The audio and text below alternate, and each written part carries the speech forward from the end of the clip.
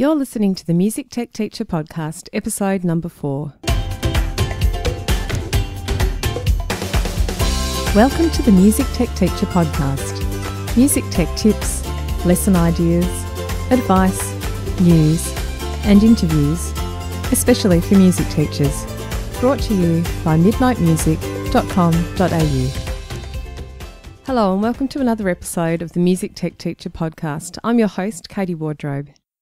I know many of you don't have access to multiple devices, but even if you only have one iPad, that is your own iPad, there are still lots of things that you can do with it with your students in class time. I actually wrote this list quite some time ago and made it into a blog post, so I'll, I'll link to that original blog post in the show notes for this episode. I've actually added an extra thing uh, in today's podcast episode. So, the original blog post is 18 ways to use a single iPad in the music classroom. But today I'll actually talk through 19 and I'll try and remember to go back and add the extra one into that original blog post. Now, you can find the show notes for this episode at midnightmusic.com.au forward slash four. Most of these ideas require you to plug your iPad into a data projector and speakers so that the students can see the iPad on the large screen and hear it clearly because of course we're using music apps here so they're going to need to hear what's going on. Okay, so let's get into the 19 ways you can use a single iPad in the music classroom. And the first one that I'm going to talk about is practicing note names. So you can use uh, a number of different apps to drill students on notes of the staff. And there are a few ways you can do this with just a single iPad. So I thought I'd talk through those. Now, the app options that I really like are now there's a, a number of these, but some of my favorites are Staff Wars. There's another one called Flashnote Derby and another one called Noteworks. They're the three that I've used the most, but there are a few options in the in the iTunes store as well. So, in terms of approaches, if you've just got a single iPad, um, of course, with your iPad plugged in, you could get individual students to come up and, um, you know, be the person operating the game. Now, that's okay, but really there's only one student that's getting an interactive um, experience in that case. So it gets a little bit boring for the rest of the class. Uh, you could work in teams where the teams send up a representative as well, and they can take turns to, you know, try and beat each other's scores with different levels in the note naming games. The best way that I think, though, is that uh, perhaps the teacher actually controls the game itself on the iPad and all of the class gets involved by filling out scorecards as the teacher's playing. So I'll explain how this can work and I'm going to use the example of Staff Wars as the app, you know, to use for this, um, but you could probably do it with other apps as well. The reason I'm picking Staff Wars is that I've actually created some scorecards that you can download to do this with your students. And basically, you'll connect your iPad to the data projector and, and open up the app as if you're going to play a game. And the Staff Wars app is a space theme. So basically, when you press the start button, a note flies across the star from the right of the screen towards the left of the screen where the clef is. And what you need to do is press a button on the screen, which is the letter name of the note. And if you press the correct one, a spaceship at the bottom of the screen will shoot and it will shoot the note and the note will disappear.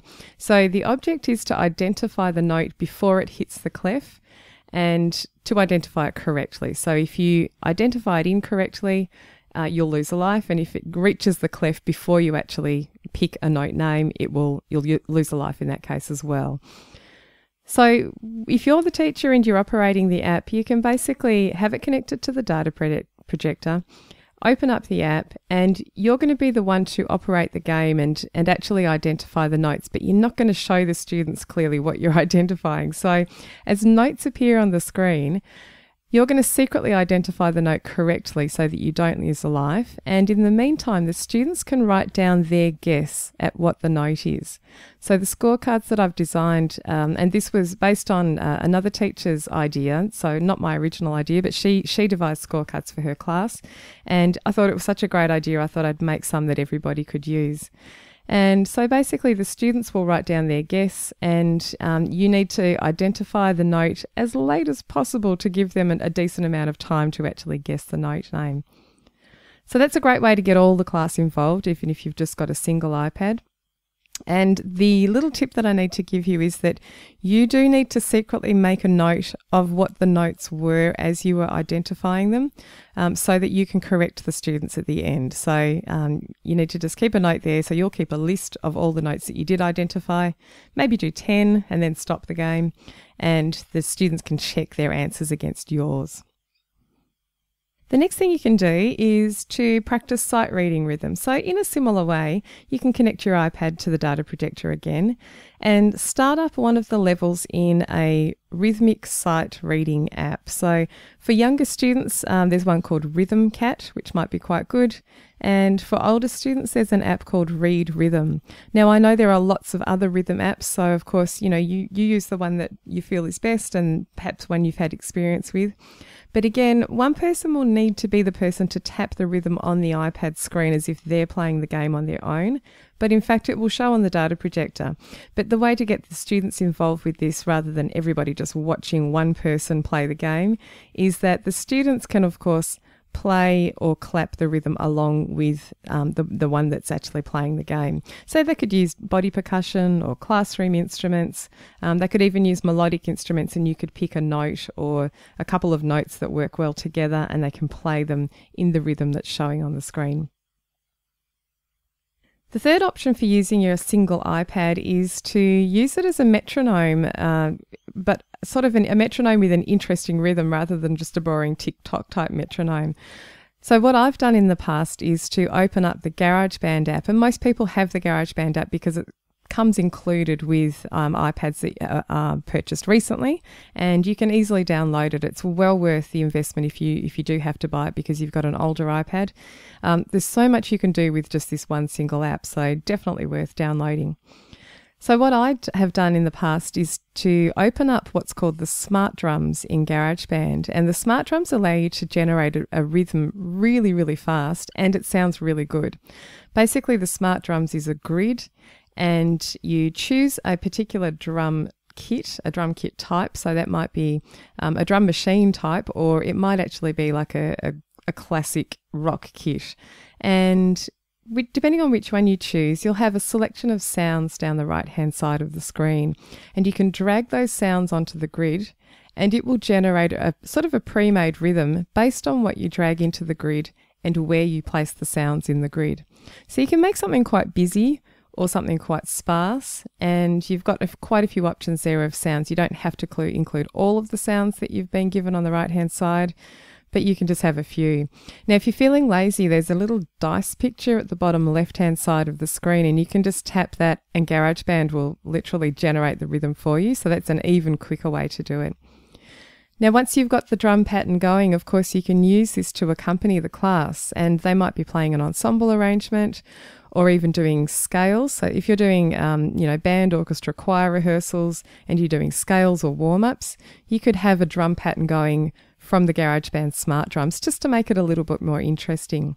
You've got complete control over the tempo in the app because you can go into the settings menu and make the tempo very slow or quite fast, or you could increase the tempo over time as the students are getting um, better practiced with their scales. If you don't want to use uh, GarageBand, of course, there's lots of other options. I've got a fantastic app called Drum Jam and also another one which I really love called DM1. That's D for dog, M for Mary, and then the number one. That's the name of the app. And both of those are specifically drum apps, and they they make excellent rhythms, really good variety, lots of world rhythm styles, and, and all sorts of things. So definitely give that a go. In keeping with that idea, you could also uh, create a class backing track and play along with classroom instruments or your band, orchestra, choir, ensemble. So you can easily create a backing track again in GarageBand by choosing one or two of the smart instruments there, which allow you to generate a, a melodic style backing really fast. So there's a um, smart keyboard, there's a smart guitar, and there is um, the third one I've forgotten. The smart drums, of course, but we've talked about that one. There's also a smart bass guitar, that's the last one. And the smart keyboard or guitar, particularly, are, great um, options. Oh, the smart strings, that's the one. Smart strings. Uh, you can open those up and you're presented with chord strips. Now, if you're like me um, and you grew up, you know, a few decades ago, so in the 70s and 80s, uh, my mum was actually a music teacher and she had one of those auto harps where you'd press a letter name, being a chord, and strum the strings of the auto harp to hear a chord play. Now, when I look at the smart instruments in GarageBand, that's what I'm reminded of. So it's a little bit like that. So, for instance, you might open up the smart guitar and you'll see the chords across the screen there. And you can play the chords by just tapping on one of the strips and you'll hear the guitar strumming sound. If you've got the strings open, you'll hear a, a, string pizzicato sound, an ensemble sound, and the keyboard, you'll hear the keyboard play a chord, whichever strip you tap on. So it's really fast to um, set up a quick song. So you can set your number of bars, you can choose your tempo, and then you can press record and just record a really fast backing track. So something like a 12 bar blues backing or one of those pop songs that just has three or four chords. You could create a quick backing by um, using the smart guitar or strings. Now, the way they create um, a quick backing for you is that they have an autoplay pattern button or dial. So basically, if you turn the dial of the smart guitar to pattern number one, it will give you a strumming pattern of some sort. If you turn it to option number two, you'll get maybe a picking pattern in that guitar. And number three and number four will give you different options again. And each of the smart instruments has this autoplay pattern. So once you press record and then play your chords in time, it will generate a strumming pattern as you go. And very little work, you get a really effective backing track quite quickly. Once you've created your backing track, the students can then play along or sing along uh, with, with whatever piece it is that you're doing. Teaching the parts of the drum kit uh, can be really useful as well. And again, I'm going to use GarageBand as the example. You can open up uh, one of the other drum options in GarageBand. So, not the smart drums this time, but uh, what I call, in inverted commas, the real drums. And you can see when you open up these real drums, you can actually see a drum kit picture on the screen. So, you get to see all the parts of the drum kit the, the kick drum and the snare and all the cymbals and so on. And you can play individually each of those sounds by tapping your finger on different parts of the screen. Now, I love seeing this drum kit opened up on the data projector. It looks really good. It's really clear and easy to see all the parts of the kit. So if you're doing, you know, a, a unit of work with your year sevens, for example, on the drum kit, it's fantastic to be able to show the students what the drum kit's like and actually label all the different parts and get them to know what they each sound like. Now, of course, it's going to be best if you've got a real live drum kit in the classroom, but often when you want to run that lesson, maybe the drum teacher's in that day and they're using the drum kit at that time. So this gives you a great backup option. You can tie this in with uh, the students learning a basic rock pattern, say using body percussion, and then get them to replicate it on the iPad screen. So, again, you could get students to take turns at this while the rest of the class is playing along with their own body percussion um, version of the drum pattern. And it's just a great way to get to know the parts of the kit and how the rock pattern works. As a little extension activity or side activity to that teaching the parts of the drum kit. Uh, you could also teach students how drum patterns are put together from an arranging point of view or composing point of view. So I like the DM1 step sequencer drum machine that I mentioned earlier, that app that I mentioned earlier.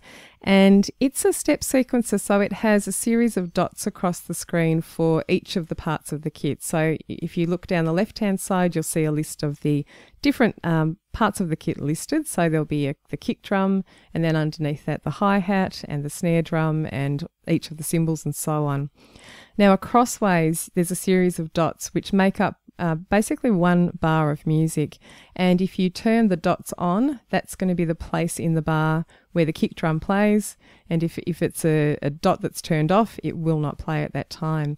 So you can easily talk through things like placing the kick drum on the first and third beat of the bar, and then placing the snare drum in the gap, so on the second and fourth beat. And students are able to see how that works and see it quite visually. So it's kind of, in my mind, like a visual notation version of a drum grid. And you could then even take it further and get them to do sort of standard or traditional notation version of that as well. It's great for visually seeing how different stylistic drum patterns look visually. And so you could set up the basic rock pattern as a starting point if you've been doing that. And then maybe change things a little bit, vary the pattern that you've got showing on the screen so that they can see how an R&B pattern looks and what maybe um, a jazz or blues shuffle looks like, which can be quite different. Moving on from drum parts, you can also use your iPad to show a large on-screen keyboard instead. So rather than, you know, having to draw on the whiteboard a picture of a, a, keyboard, you can actually show it within your one of your iPad apps. So again, GarageBand of course has a lot of keyboard options in there, so you might want to choose one of those and there's lots of different looking ones depending on which type of synthesizer or piano you choose. Um, another one that can be quite useful is called Virtuoso Piano. And that one has letter names on each of the notes. So I know some of you, particularly working with younger students, are keen to have a keyboard which shows the names, uh, letter names on each note. That's the only one I've found that does that so far. I'd love to know if you have come across another app that does that as well, a keyboard app that shows the letter names on each note but that's the one I've found so far. Now that's a free app, and um, the the only thing I'll I'll say is that it does have adverts in the app. You need to just make sure if you're working with really young students, just make sure the adverts are suitable for them to be seeing if you're displaying your iPad on the big screen. Um, occasionally, I've seen adverts in there which I think are maybe not quite so suitable for young students. So do check that out ahead of time before you have it in front of your class. So, getting on to more of a performance side of things, uh, something that you can do with your iPad is to use uh, possibly my favorite music app other than GarageBand, which is Loopy HD. Now, this is a looping, live looping app, and it's been featured a number of times on the Jimmy Fallon uh, Tonight Show. And he first used it, I think, with Billy Joel there, and they did a, a version of The Lion Sleeps Tonight. And he's since used it with a number of guests, and there's lots of videos you can look at on YouTube where they're using this app. Essentially, um, the app shows you some circles on the screen, and each one of those can be a separate musical part. So you get the first one going, and you can do something like sing a little ostinato. And then on top of that, on another circle, you can create another part. So basically, you can tap the next circle and layer on a second part that goes with the first one you've already recorded. The first one keeps playing while you're recording for the second one. And then you can go on to the third circle and the fourth circle and you can build up an arrangement. It's a fantastic thing to do. Really, really useful. Uh, sometimes it can be good to do this uh, with a group. So you can lay down, if as the teacher, you might lay down the first track, and that might be perhaps a rhythmic thing, or maybe it's a bass line. And then if you've just got the one single iPad, you can get students to come up and while your original track is playing, they can one by one sing and record into one of the other circles to add to that piece that you're creating. So the students, in essence, will help you build up the layers. Once you've got a backing going, you can actually get everybody to sing across the top of it. So you can treat it like a backing track and get everybody to sing along. The Lion Sleeps Tonight is a great piece to start with because mm, pretty much everybody knows that or they've, they've heard it at least in the past and um, have, you know, a bit familiar with it. So if you want to give it a go, that, that's often the one I use in workshops to demonstrate it. Uh, but there's lots of other songs that lend themselves to this as well. Now, the next thing, as an extension to that one, is to do the same sort of thing. You could set up some sort of backing track and then actually get students, while the backing track's going that you've set up in Loopy, you get the students to perhaps improvise over the top.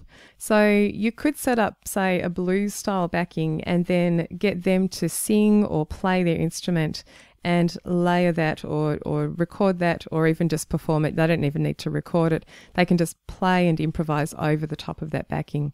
So that, that can be a great thing.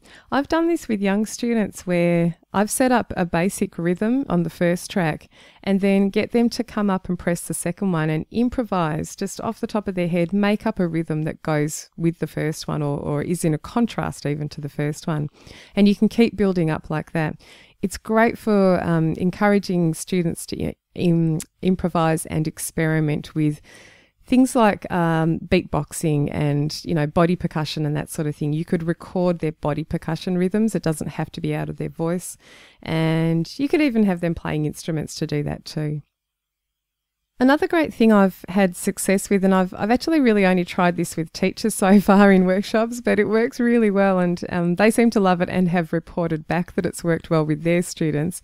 And this is to do with pitch matching. So, this is a great one for younger students. There is an app called Singing Fingers, and again, you can plug your iPad into the data projector so students can see this. And Singing Fingers is a drawing app, but it's got a little bit of a difference. You can only draw on the screen if you're making a sound. So if you run your fingers along the screen and you're not making a sound, nothing will happen. Nothing appears on the white blank screen that, that is there when you open up the Singing Fingers app. However, if you make a noise while you're dragging your finger along the screen, you'll get some color and a line will appear. It's it's really good. It's quite vibrant, so it looks really good when you show it on the data projector. So, what I've done in the past is to sing a single note while I draw a line on the screen. And when you do that, Singing Fingers actually matches different pitches to different colors. So, often I pick, I'm, i think I must pick the same note because I often get a, a note which is sort of a pinky purpley color. So, I will drag my finger along the screen and um, while I'm singing a note, and this pink line will appear, and it looks great. So then I get the teachers in my workshop to sing the same note while I draw my finger across the screen again. And what you can do is get when they sing their note, you can then compare the colour of their line to the colour of your original line and see if they match. Because singing fingers will always match the same pitch to the same colour. So if their note is not the same, the colour will not appear the same on the screen. Now, when I do this with teachers, I actually get them to deliberately do the wrong note first. So, so I sing my note and draw the line. And then I say, okay, everybody, you, you're going to sing a note, but just pick any note, any note. And they're all, it sounds awful, but I draw my line. And when we do that, um, the, the line is not even a single colour, it's all this multicolour. It looks really messy and murky. And then I get them to sing the correct note the second time through. So I draw another line underneath, and with everybody singing the correct note, we can see easily that the colours do match the first line and their last effort. Um, the colours actually do match. So that's a great way to visual, visually connect pitch and you know whether the pitch is the same or not. Lots of other things you can do with singing fingers, which I might talk about in a future episode, but that's one really simple thing. So that's the first 10 ideas for a single iPad done. After the break, we'll continue on with the remaining 9 ideas and look at how to use your iPad as a listening station. We'll look at some apps for discovering the orchestra and how you can use your iPad as a TV camera. This episode of the Music Tech Teacher podcast is brought to you by the Midnight Music community. The Midnight Music Community is an online space for music teachers who'd like help using technology in their music lessons. There are online courses, video tutorials, lesson plans, music tech news, and professional development certificates are provided for any training that you undertake. I'm inside the community every day, personally answering members' questions and sharing tips and ideas. The best thing is that you get to connect with hundreds of other music teachers just like you and share your own experiences and occasional music tech frustrations. For more information and a special joining price just for the listeners of this podcast, visit midnightmusic.com.au forward slash podcast offer. That's midnightmusic.com.au forward slash podcast offer. Another GarageBand one here, you can teach form using GarageBand. And if you've been talking about form, so, you know, talking about, say, ternary form, section A, returning, going to section B, and then returning back to section A again, or some other form, you can actually use GarageBand to kind of illustrate that. So, what I've done in the past is to create a really simple chord sequence and record that and that becomes my section A. So let's say I recorded eight bars of a chord sequence. Then you can go into GarageBand's song sections menu and you can actually duplicate that section that you've created. So if I've got my first eight bars recorded, I can go into the song sections menu and hit duplicate and it will give me a whole copy of that eight bars right next to the first lot of eight bars. And then you can duplicate it a second time. So you end in my example here, you can end up with three sections which are identical. So I've got section A, section A, and section A. Then what I can do is go in with the students, go into section B, and we can actually make some adjustments. So here is where you can talk to the students about, you know, in, in form, if you want uh, to have something different, you'll need to make some adjustments to that middle section. So whatever you've recorded and copied into that middle section, you can maybe take some instruments out or vary the chord sequence and re-record sections so that section B is quite different. And then, of course, you've already got section A, which is at the end. Now, that means that you can easily see and hear now the difference between the A, the B, and the A section again. So students can listen and identify, perhaps identify the three sections as you get to them. Now, the only issue I have with this in GarageBand, and it makes me a bit sad because I think it would be such an easy thing for them to change or fix, is that the song sections uh, you have not in the past, and maybe you will in the future, but you haven't been able to rename them.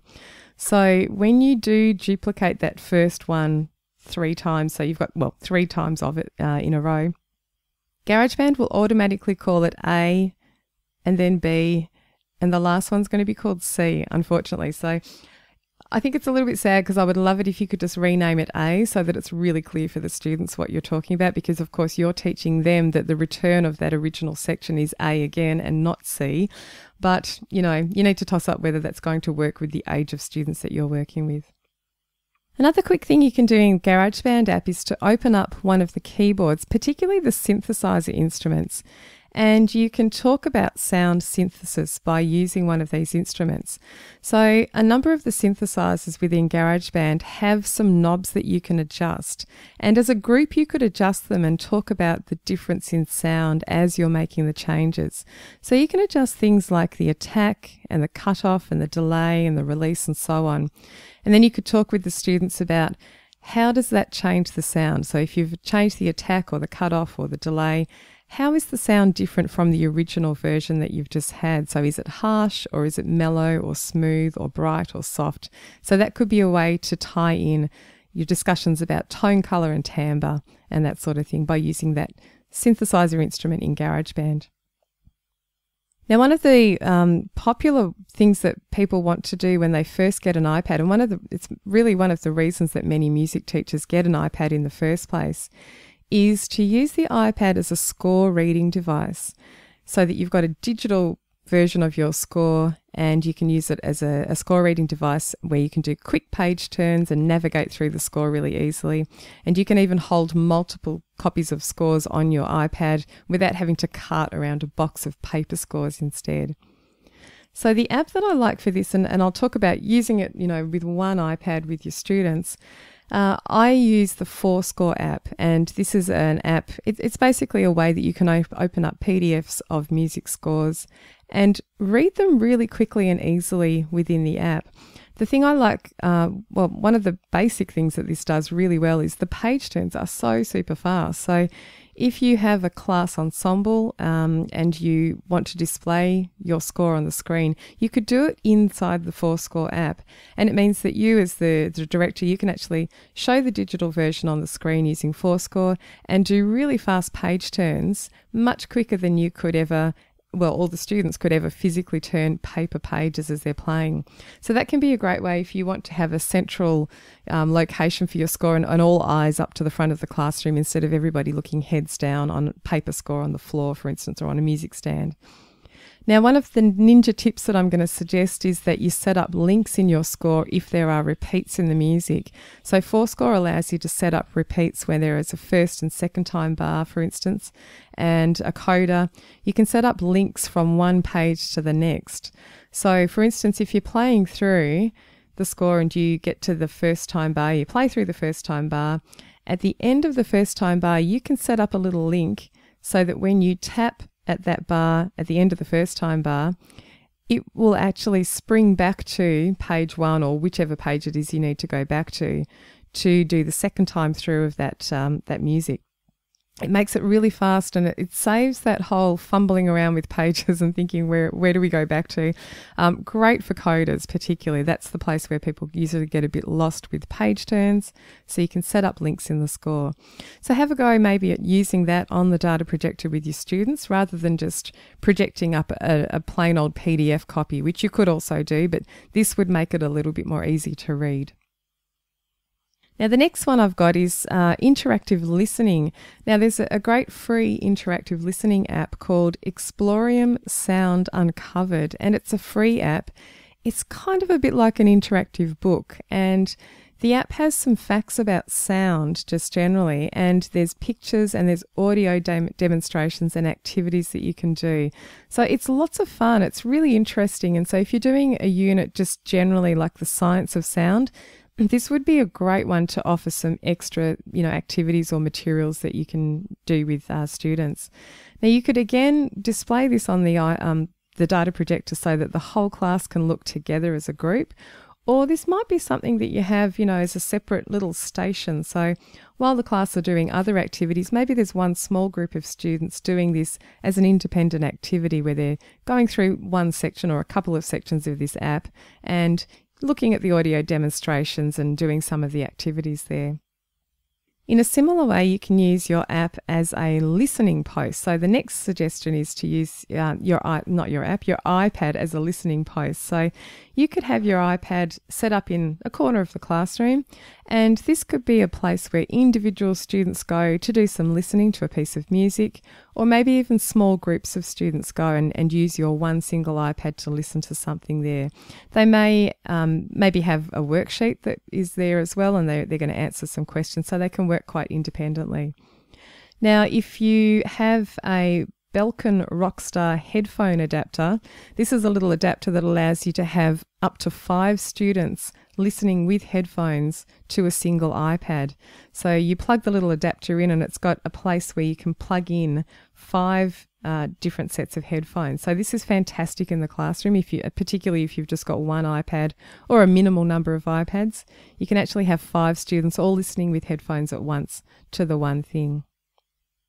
Now, the next thing I'm going to suggest as a group activity is to use your iPad as a sound effects board for a storytelling project. So, there's a number of ways you could do this, but uh, one app that I love for this purpose is called MadPad. And MadPad is a soundboard app which allows you to record 12 separate sounds in different squares.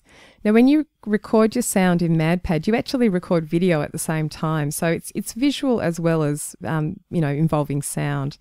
So 12 separate sounds. So you could do something like, as a group, work out uh, a collection of sound effects that you're going to record as your class set of sound effects. So 12 sound effects. And then students could perhaps go away and work in groups together to write a story that incorporates as many of those sound effects as possible.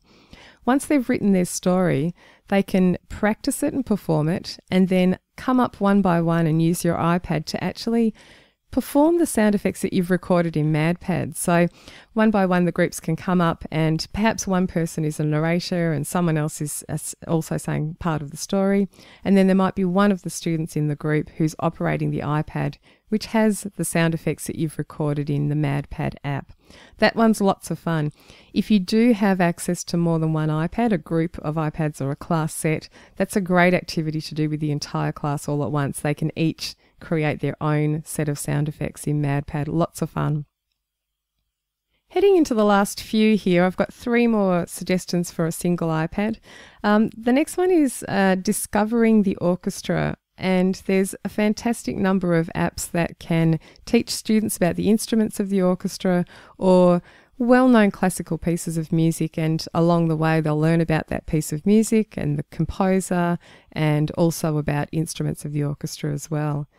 So, by displaying the iPad on the data projector, you can look at everything as a group together and you're able to see instrument images and videos and sound ranges and example pieces and look at talk about the role of the conductor and so on. Apps that I really love for this are um, there's one called The Orchestra, and that one's a really fantastic app. It takes up a little bit of room on your iPad, so just make sure you've got enough space. It's well worth it. It's, it's a super high quality app, looks fabulous, and you can basically um, see different players of the orchestra playing their instruments. They'll actually demonstrate what they sound like. You can see the range of each instrument. You can hear some well known pieces being played. You can see video footage of the orchestra performing that piece. You can see the conductor. There's a um, little section where you can click through and see a, a specific instrument, say the bassoon, and you can actually look at the bassoon picture and rotate it on the app. So you can see the bassoon from all sides, and there's the same for all of the instruments in the orchestra. So it's great if you've perhaps not got access to a real version of an instrument, a real live bassoon or a real live, you know, whatever it is, set of um, timpani that day, uh, you can bring them up on the screen and show the students what they look like from all sides. You can hear them and you can see players talking about them as well. So that's a great app. There's some other apps which are great as well. Um, the Melbourne Symphony Orchestra, which is, you know, from where I am, they have a free app called MSO Learn. And that one does similar things to that, that um, you know, that first app that I mentioned. Uh, not as many features and as many things in there, but it's still a great starting place. And if you need a free version, that, that's a good one to go for. There's a fantastic Carnival of the Animals app, and I will link to all of these apps in the show notes. So if you want to look these specific ones up, uh, you can head over there and just click on the link, and it will take you to the iTunes uh, place. But uh, the Carnival of the Animals, uh, Animals one is also beautiful. Uh, for young students, Naxos has a an app called My First Classical Music app. And the the one that I've shown quite a bit in workshops uh, is a, a, there's a free one which is the Young Person's Guide to the Orchestra, and that one's also well worth a look. Last couple of things I'll mention, and these are kind of obvious basic things, but sometimes I find if I mention them in workshops, people haven't uh, clicked that they could do this with their iPad. Uh, the second last thing I'm going to talk about is the fact that you can just simply use your iPad to capture student performances. So just open up that camera app, hit the video record button, and you know, record students playing and singing. It's a really great way, you know, you may want to keep it and archive the performances if it's a proper performance, but if it's just in classroom class time, it's a great way for students to get instant feedback about their playing. And even things like if you're a studio music teacher or an ensemble leader, Videoing your students might help them to realize that maybe they're not holding their instrument quite correctly. Maybe they think they are, and, and actually, when they see themselves on video, they're not quite holding it correctly. And you can sort of show that to them. Video is also great for assessment purposes. So um, students can, you know, ma- maybe use your single iPad in the corner of the room to record themselves doing something that you're going to then assess at a later time. Sometimes it can be hard to listen or watch every student in class if you need to assess them. So having your iPad set up somewhere where students can just make a recording and then you can go back to that later, that can be quite helpful. And the very last thing I'm going to share is using your iPad as what I'm calling a TV camera. it's not quite really, but uh, basically, if you set your iPad up somehow on a, a, stand, and there are various clips that you can purchase to clip your iPad to, say, a music stand. You could have, again, open up the camera app, but this time you can have the camera pointing at you, playing the instrument that you're demonstrating to your students. So, if you've got a class of 24 students and you're doing a ukulele unit, for instance, it can be difficult for the kids at the back of the room to maybe see, you know, the exact position of your fingers on the fretboard to make the chord that they need to make. So, if you set up your iPad and it's connected to the data projector, once you open up the camera app, if it's pointing at your hand, it's going to show really big on the screen, just like you're on TV. And that can really help some students just to see a bit more clearly the thing that you want to show them. So it doesn't have to be guitar or ukulele, it might even be recorder fingering. Um, you might be demonstrating something. Um, you know, I, I used to play double reed instruments and uh, on my teaching rounds before the iPad was in existence, I actually showed you know, the reeds that you use to play the bassoon and the oboe. And, you know, if kids haven't seen that, that can be really interesting. So to be able to show them through the camera app and to see it large on the screen, that can help, you know, rather than having everyone crowd around and not be able to see, that can help you see, eh, all the students see, see quite clearly there. So I really hope you found some of these suggestions useful. I'm, I'm hoping that you'll actually give some of them a go. I'd love to hear from you if you actually do give them a go. You can tweet me on Twitter, and my Twitter name is at Katie SW1, S for Sam, W for wardrobe, number one. And you can also connect with me on Facebook at facebook.com forward slash midnight music. The Music Tech Teacher podcast is hosted by me, Katie Wardrobe. You can find more information and the links from today's episode at midnightmusic.com.au forward slash four. Thanks for listening, and I'll see you next time.